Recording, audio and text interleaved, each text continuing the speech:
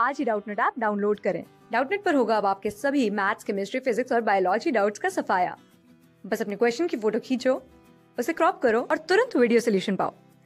Download now So, the question is, a non-ruminant member of Artiodactyla is इस question में हमने बताना है कि जो आर्टियोडेक्टाइला होता है, उसके non ruminant members given option में से कौन से हैं?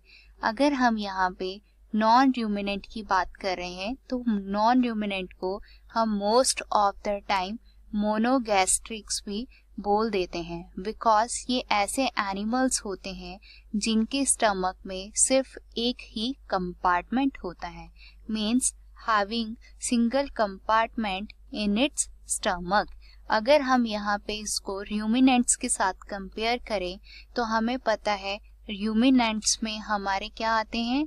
हमारा कॉमन एग्ज़ाम्पल है यहाँ पे काऊ शीप गोट और कैमल तो इनका क्या होता है? इनके स्टमक में फोर कंपार्टमेंट होते हैं। ये जो है एक मेजर डिफरेंस है नॉन र्यूमिनेंट और र्यूमिनेंट्स के बीच में।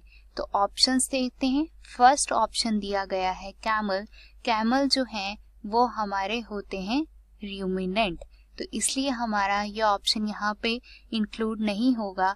This is the wrong option here second हमारे पास आता है पिग तो पिग जो है, वो नॉन र्यूमिनेंट्स होते हैं बिकॉज़ उनका जो स्टमक है, उसमें सिर्फ़ सिंगल कंपार्टमेंट होता है।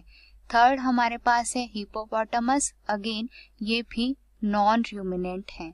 लास्ट ऑप्शन हमारे पास है बोथ बी एंड सी तो हमारे दोनों ही ऑप्शन जो पिग है और हिपोपोटामस है, दोनों ही ऑप्शन सही हैं।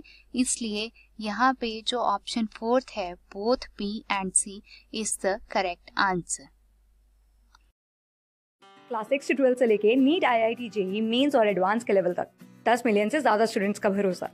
आज ही डाउनलोड करें डाउटनेट ऐप या व्हाट्सएप कीजिए अपने डाउट्स आठ चार सौ चार सौ चार सौ पर।